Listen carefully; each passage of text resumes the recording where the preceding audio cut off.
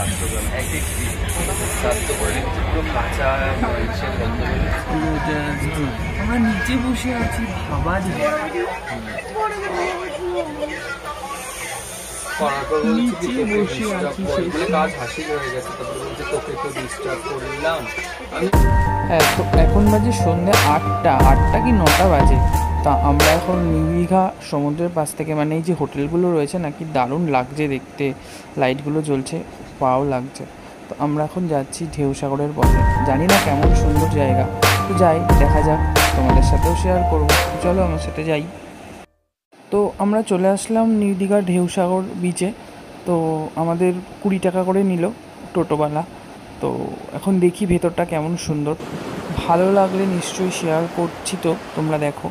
I think ভালোই হবে but জানি না কতটা সুন্দর। দেখা যাক, আমি তো যাচ্ছি। তো হাঁটতে হাঁটতে চলছি আমরা ভেতরের দিকে। সুন্দর একটা লাভ গাছের মানে মানে অসাধারণ। আর এই জায়গাটা না অনেকে বেশ ফটো তোলে, আমি দেখেছি। বেশ ভালো লাগছে। অ্যাকচুয়ালি সন্ধ্যাবেলাটায় এটা বেশ ভালো জায়গা। এত সুন্দর লাইট জ্বলে। সবই নষ্ট করে দিয়েছে শুধুমাত্র বৃষ্টির জন্য। এত পরিমাণে বৃষ্টি হচ্ছে। আমরা কিন্তু মানে এখানে এসে অনেকক্ষণ দাঁড়িয়েছিলাম। এতটাই বৃষ্টি হচ্ছিল, দাঁড়ানোর কোনো জায়গা ছিল না। চারিদিকে শুধু মানে জঙ্গল জঙ্গল, তো দাঁড়ানোর কোনো জায়গা ছিল না। তাও একটা গাছের নিচে কোনো রকমে দাঁড়িয়েছিলাম এতটাই বৃষ্টি হচ্ছিল, কী করব? তো বৃষ্টিতে ভিজেই গেছি। ভিজেও তাও পার্কটা কোনো রকম এক্সপ্লোর করেছি, করে দেন মানে খুব তাড়াতাড়ি বাড়ি ফিরেছি। শরীরটাও ঠিক দিচ্ছিল না। আর এতটাই ভিড় ছিল, এই ভিড় না সরি এতটাই ভিজে ছিল সব জায়গা বৃষ্টিতে, এই যে সিঁড়িটা দিয়ে আমি উপরের দিকে উঠে গেছিলাম, তো সিঁড়িটা দিয়ে উপরের দিকে উঠে গেলে, এই জায়গাটা এরকমই সিঁড়িটা দিয়ে উপরের দিকে উঠে গেলে একটু এগিয়ে গেলেই বিচের সিঁড়ির সাইডে না খুব সুন্দর লাইট জ্বলে।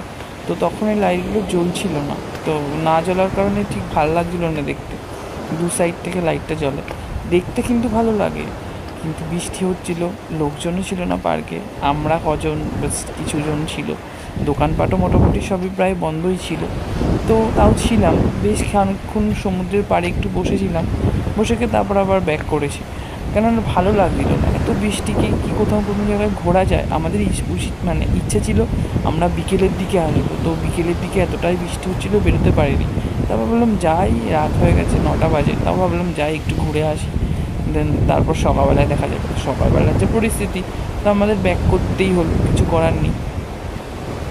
তো চলো আমার সাথে থাকো, ভিডিওটা দেখো, ঠিক আছে? আর এই পার্কটা কিন্তু ভালো লাগছে দেখতে, কিন্তু যদি আরও সব কটা লাইট জ্বলতো আরও বেশ লোকজন হতো আরও ভালো লাগতো দেখতে। কিন্তু একদম ম্যারে লোকজন নেই, আর বৃষ্টি কন্টিনিউয়াসলি হতেই আছে। লোকজন ছিল মানে কিছু দোকানপাট ছিল, আর কিছু লোক ছিল সবাই তো ছিল না। তো এরকমভাবেই আর কি হলো, কাটলো। ভালো লাগল না। মানে দীঘাতে এসে কোনো কিছু ঠিকভাবে এক্সপ্লোর করতে পারলাম না। আগেও এসেছি আমি দীঘায় অনেকবার, কিন্তু এই যে, এই জায়গাটা আমি কখনো আসিনি। তো এই জায়গাটা ভালো করেছে পার্কটা আগে এই পার্কটা তো ছিলও না, এখন পার্কটা করেছে, ভালো হয়েছে। চলো দেখ। তবে আমার সব থেকে যেটা বেশি ভালো লাগছে সেটা হচ্ছে সমুদ্রের এই ঢেউয়ের আওয়াজ জাস্ট অসাধারণ। এটা আমার সত্যিই খুব বরাবরের জন্যই ভালো লাগে। আর এখানে এসে যদি বিকালবেলা হতো আর যদি বৃষ্টি না হতো, ফুরফুর হাওয়া দিত আরও বেশি ভালো লাগে এই সমুদ্রের গর্জনের আওয়াজ না আমার জাস্ট অসাধারণ লাগে, ঠিক আছে? আর এখানে মানে এই আওয়াজগুলো না মানে শুনতে সত্যি খুব ভালো লাগে, মন ভরে যায় সমুদ্রের আওয়াজগুলো। এতটা বৃষ্টি হচ্ছিল না, যেতেও পারিনি। এখান থেকে না হেঁটেই যাওয়া যায়, নিউ দীঘা বিচে ঠিক আছে? বা ওখান থেকে হেঁটে এখানে আসা যায়। কিন্তু ওই যে বললাম, বৃষ্টি সব কিছু বৃষ্টির জন্য নষ্ট হয়ে গেছে। সবাই, আমি খুব সকাল সকাল চলে এসেছি দীঘা স্টেশনে। যাওয়ার কথা ছিল ছটা পঁচিশে। এখনই চলে যেতে হচ্ছে বৃষ্টির জন্য। এখন একটু চায়ের দোকানে এসেছি। একটু চা নেব। সকাল থেকে চা খাওয়া হয়নি। চাটা খেয়ে তারপর আমরা বেরোবো। তো ফার্স্ট টাইম জেনারেল কম্পার্টমেন্টে উঠবো জেনারেলভাবে জানি না কেমন এক্সপিরিয়েন্স হবে। অবশ্যই তোমাদের সাথে শেয়ার করব সেই এক্সপিরিয়েন্স ফ্রেন্ডস গুড মর্নিং আজকের মর্নিংটা খুবই খারাপ গেল আমার, কেননা আমার শরীরটা প্রচণ্ড খারাপ হয়েছে সাথে আমার ফ্রেন্ডদেরও তো আমরা, আর এত বৃষ্টি হচ্ছে এখানে যে চলে যেতে হচ্ছে। কোথাও ঘুরতে যাওয়ার প্ল্যান ছিল আজকে। একটু তালসারি ঠালসারিতে ঘুরতে যাওয়ার প্ল্যান ছিল বাট কোথাও যেতে পারলাম না। কেন কি এতটাই বৃষ্টি হচ্ছে। তো সেজন্য কোথাও ঘুরতে যাওয়া হলো না। তো আমরা এখন বাড়ি ফিরে যাচ্ছি। একটা, এই সরি একটা না, দশটা পঁয়ত্রিশে ট্রেনে ধরে বাড়ি ফিরে যাচ্ছি।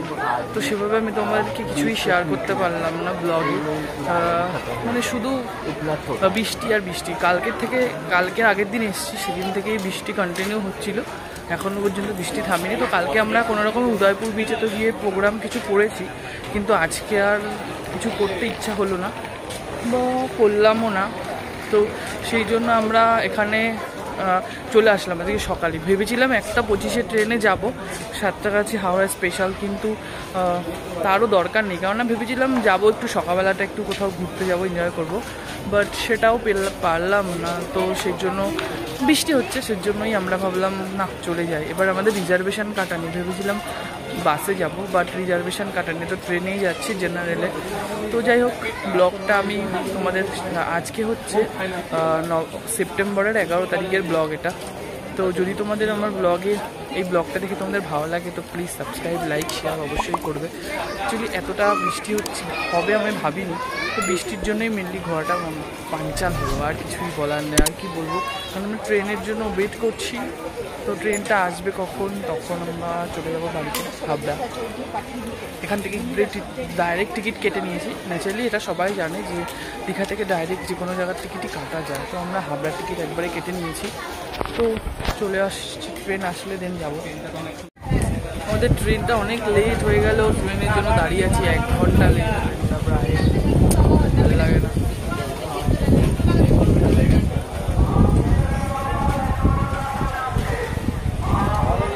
বহুত লেট হয়ে গেল এখন একটা ট্রেন আসছে লোকাল ট্রেন ফ্রেন্ডস তোমরা লোকাল ট্রেনে আসতেও পারো বা যেতেও পারো কিন্তু লোকাল ট্রেনে একটু চাপ হয়ে যায় পঁয়তাল্লিশ টাকা মতো চাপ নেয়। চলো দেখা যাক কখন ট্রেনটা আসে হ্যাঁ ফ্রেন্ডস তো তোমরা সবাই দেখো আমি জীবনে করে জেনারেল কম্পার্টমেন্টে উঠিনি এই ফার্স্ট কমপ্লিট মাছ তিনশো সাড়ে তিনশো গ্রাম চারশো গ্রাম এক একটি কাঁচা আর কাঁচা কাঁচা তোমার সর্ষে বাটা পুরো কাঁচা বলব, আমি এই ফার্স্ট টাইম জেনারেল কম্পার্টমেন্টে উঠেছি আমাদের তো ঠিক ছিল না আসার। আমাদের তো নর্মাল মানে বিকেলে দিকে আসার কথা ছিল তো বাই চান্স কি চলে এসেছি। তো এই জেনারেল কম্পার্টমেন্টে ওঠা, তোমরা প্লিজ উঠো না। জেনারেল কম্পার্টমেন্টে ওঠা। জাস্ট বলার মতো না মাই গড পুরো আমরা নিচে বসে আছি ভাবা যায়। নিচে নিচে আর আমি দেখাচ্ছি তোমাদের ওই ব্যাক ক্যামেরা করে দেখাচ্ছি। কি বিভৎস ভিড়, সবাই কীভাবে নিচে বসে আছে।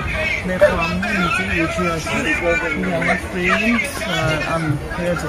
আমার ফ্রেন্ডস এই যে এই যে অ্যাকচুয়ালি এই জানলাটার জন্য জানলাটার জন্য বেশ সুবিধা হয়েছে। জানলাটার একটু হালকা হাওয়া আসছে।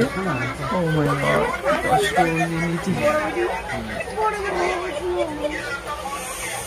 করার পর বলছি কি তোকে আছি করে-। বলে কাজ হাসি হয়ে গেছে তারপরে বলছে তোকে তো ডিস্টার্ব করলাম। আমি না না ঠিক আছে ডিস্টার্বের আর কি আছে? তো প্লিজ তোমরা কেউ জেনারেলে আর উঠো না। যাদের একটু ক্ষমতা মানে একটু মানে মানে আছে টাকা পয়সা। তারা এইভাবে নিচে কষ্ট করে এসো না, পাঁচশো টাকা বেশি যাবে আর জেনারেল টিকিট নব্বই টাকা আর নর্মাল টিকিট একশো পাঁচ টাকা। জাস্ট একটুখানি ডিস্টেন্স তো অ্যাকচুয়ালি রিজার্ভেশনে নেই, আর এই লাইনের টিকিটটা টিকিট এতটাই কম মানে ট্রেনটা এতটাই কম যে মানুষের জেনারেলে আসতে বাধ্য হয়। কম এইভাবে আসা যায় না বিবর্ষ কষ্ট। আমি ফার্স্ট টাইম আসলাম না আমার কি কষ্ট হচ্ছে ট্রেনটা যখন দাঁড়ায় হাওয়া তো দিয়ে সেভাবে ঢোকে না। আমি?